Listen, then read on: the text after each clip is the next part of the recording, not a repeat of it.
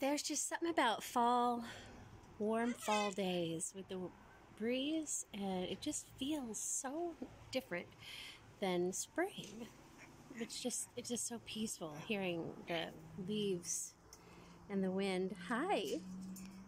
And the birds are very vocal today. So warm. So the nuts came. Look at that. Four bags. I'm gonna go add that to the birds things. These, oh, these are for Nemo and Ava. And these came, these are for the pigeons and the doves to add a little bit of fat. And these are bulk from Mama Jean's. I'm going to add some more of those to the pigeons' food. So let's go do that. I said pigeon food. I meant to say the parrots mix. That's what I meant to say. Oh, we're going to add a bunch of nanners. Save some for us to eat. I don't think we need another bag of peanuts just yet. We're going to add all these bags of mixed nuts. Oh my goodness. That's a lot of mixed nuts. It's going to take a lot to mix this up. It has uh, walnuts, almonds, hazelnuts, pecans, and Brazil nuts. Now, I'm going to mix that all up for the parrots, Nemo and Ava. I think we'll be good for a while and nuts and seed mix. I always add to this, but this is great. And uh, Mama Jean's, our health food store, did actually have organic sesame sticks, but I decided against it for now. Anyway, that's what I'm doing today.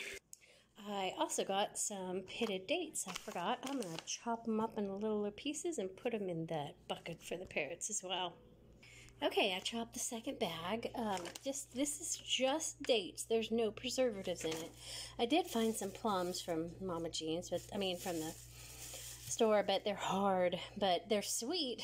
I did chop one up and give it to them, but um, no luck so far. But I'm going to go put this. I already put the other one in the bucket. I'm going to put this one in the bucket now. This is the second one I chopped up.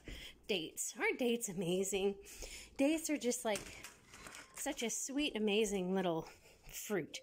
All right, I'm going to put them in here. Put the first one in there needs all needs stirred.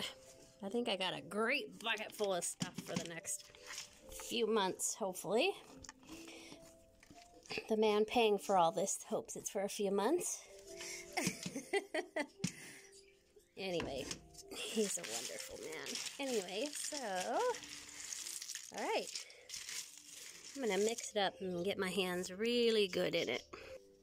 Okay, so I am really happy with this mix lots of nuts for them to chew and forage, and raisins, dates, homemade pumpkin seeds, banana chips. I got some organic noodles.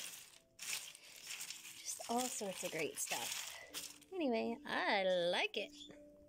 We did get three watermelons out of the garden before it got too cold, so that's nice.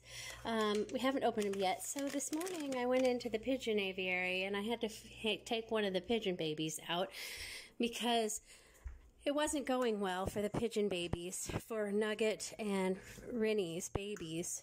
Rinnie was trying her best, um, but uh, hi, hello, gorgeous.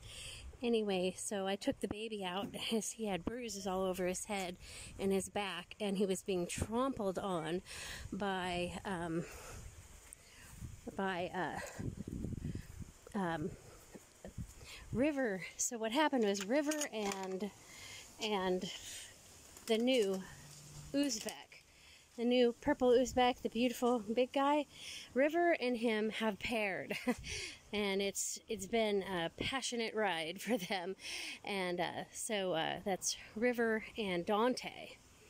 Um, no, I'm calling him um, not Dante. Dante is the Uzbek with the gold, but the red one is um, Vincent. So Vincent right here and the one next to him, River, have bonded strongly. So um, I came in and River and them were in this one last night. So I put something in there so they would go in that one to nest. But instead, they went in here and was trampling this little guy right here. He was getting all trampled on. And uh, I brought him in and I put salve on him, the uh, a castor oil beeswax salve, and the pain went away for him. The bruising is much better. His poor little red nose is sore. And I tried to hand feed him once. And I brought him back for Mama to continue feeding. But I, I, it, I did catch her feeding the big one. And this one has much more energy, though his crop is not full. So Mama needs to get in there and feed that one. She was probably waiting until he got his second wind. Looks like he has. I'm waiting for him to be fed by Mom. So to save to save the babies, these guys, well not all of them, have been wings have been clipped. One one side of their wings have been clipped. So they have a stick to get to the water and for the next 2 weeks they will not be able to fly up there to and that will save the babies.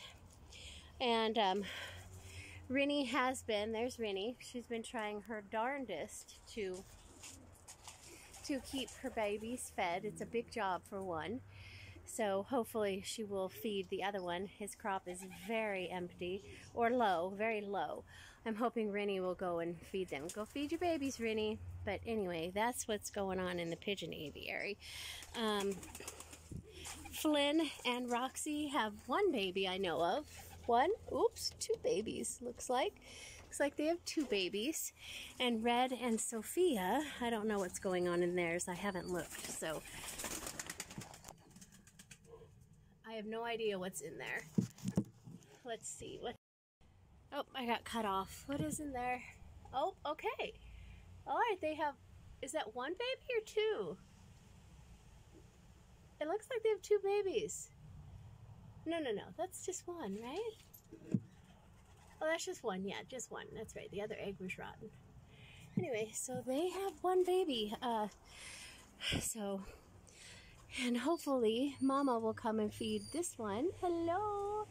And hopefully they will be okay. We are blessed with a very, very nice warm day. So hopefully Mama will catch up. I'm going to check them here later. Anyway, anyway, that's what's going on here.